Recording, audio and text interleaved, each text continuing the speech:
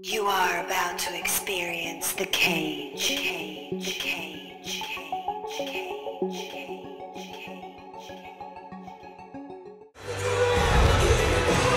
Patrick Kapanen vastaan Leonardo Kasotti ja molempien statistiikka aika samanlainen, mutta Kasotilla lievä ulottuvuus etu, mutta ottelu todennäköisesti ei tule menee täyttä aikaa, jos pysytään pystyssä, mutta pieni mahdollisuus täydelle ajalle, jos ottelu päätyy matkoon.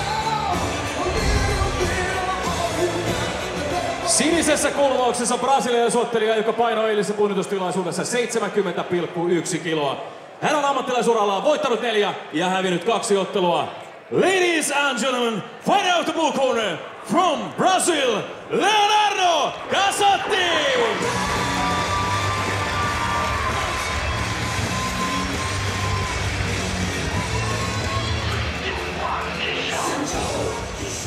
Punaisessa kulmauksessa helsinkiläisottelija, joka edustaa GP Kymiä sekä Primus Fight-tiimiä. Tämä kivinyrkki painoi eilisessä punnitustilaisuudessa 70,6 kiloa ja on ammattilaisurallaan voittanut neljä ja hävinnyt kolme ottelua. Hyvät naiset herrat, Patrick!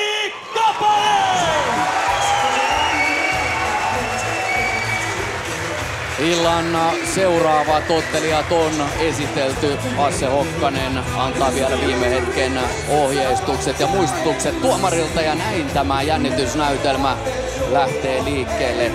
Ja niin kuin Aleksi tuossa totesi, niin statistiikan valosta, valossa ei paljon tasaisempia voi enää jutut olla. Suunnilleen samanikäisiä, samanpituisia, samanpainoisia, samankaltainen ottelumäärä ja ainoastaan Kasotilla riitsissä eli ulottuvuudessa pientä etua, mutta katsotaan, onko hurimukset tänään. No, kyllä saatiin vastaus tuohon, että et ei tää mitään taputtelua.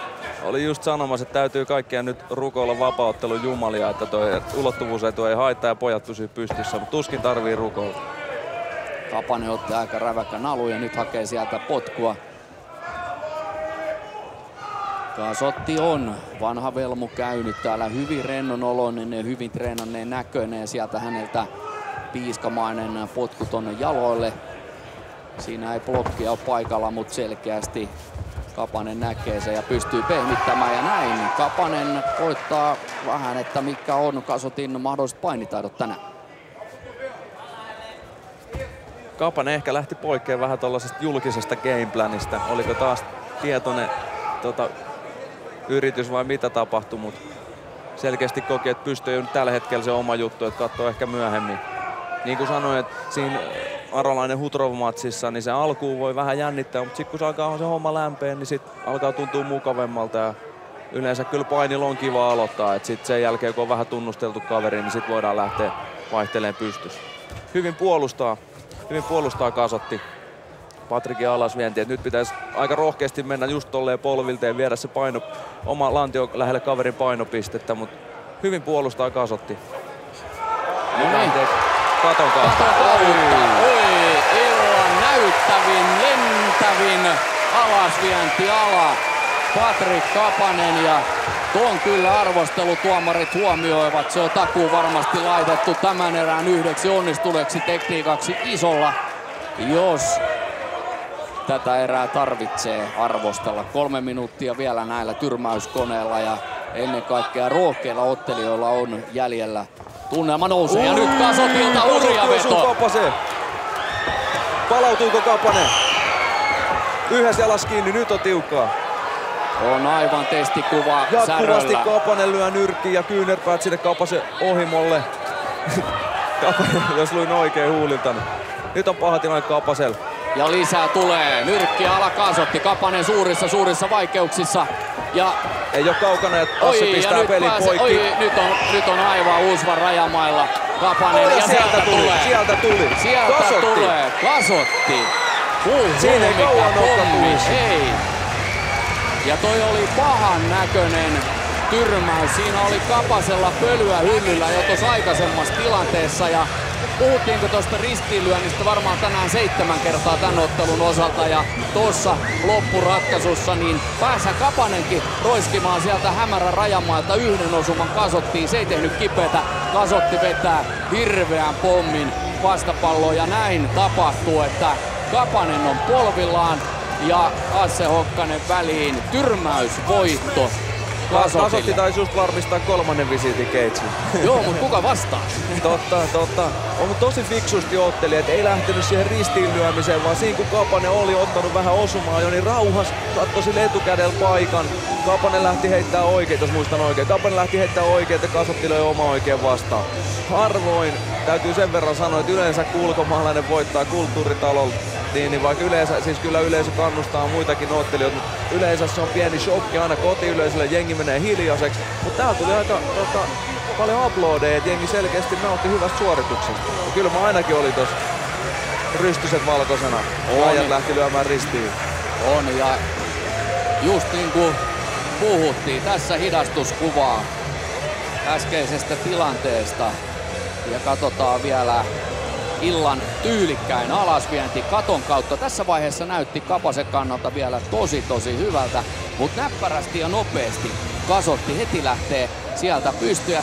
Tuommoinen puol huolimaton näytti vähän jopa, että niskaan osuu. Ja sitten tulee toi vasen koukku, joka tavallaan laittaa testikuvan Kapasella aika pahasti särölle.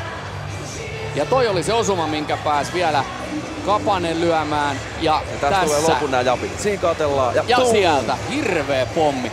Mutta niin kuin sanoit, niin toi osoittaa Kasotin kokemuksen. Ei lähtenytkään ryskäämään, vaan haki sillä vasemmalla, vasemmalla, vasemmalla pumppas. Sitten kun paikka sen oikein ja paikan. hirveä Ties mitä. Kapanen tekee, miten se lähtee lyömään. Ja venas vaan oikeet hetken.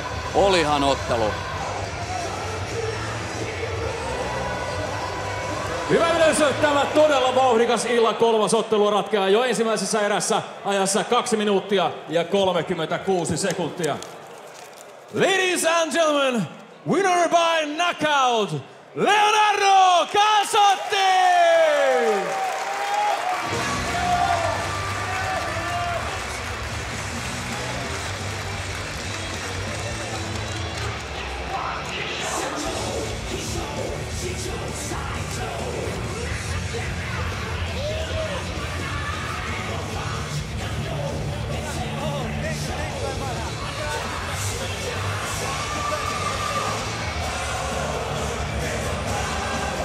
Ja tästä mennään sitten vielä haastattelupisteen kautta katsomaan brasilialaisia voitojuhlia. Leonardo, congratulations, that was a great victory. Knockout in first round, how did it feel? Thank you, thank you very much. Uh, my past past fighter, I'm go Finland only kickboxing class, only teacher. Gotta speak. Oh, let's go fight. I'm trained alone, no MMA train, and go wins. And now I'm back Brazil and really train MMA in my coaching Gaia MMA. And the back, it's no surprise for me. And that's easy fight.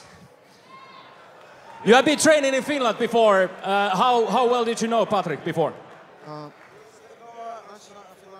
Uh, é, in Kayane, uh, Kayane Jiu-Jitsu.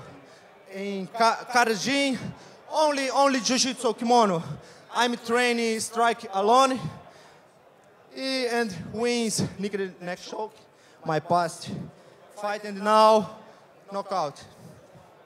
Congratulations, Leonardo Casotti! Uh, this, thank you, Finland. I love you, country. Thank you for opportunity. I'm back and I'm back bitter because I'm really trained. This is my life. And now my next fight is Marcel Colombo. I'm back my hero category. I'm kill you. Next fight, Marcel Colombo. Leonardo Casotti! Leonardo Casotti, aikamoinen mies ja paljon faneja Suomessa. Reipas urheilija, treenaa, harjoittelee, ottelee ja on tavallaan niin rento, että siitä on hyötyä jopa tuolla häkissä. Kyllä, ja myy jo siinä seuraavaa otteluukin, että tota, haasteli Markus Rytohonkaan, Master Kyllä. Kolomboa, että hyvin petaa ainakin tulevat ottelut. You are about to experience the cage. Cage. Cage.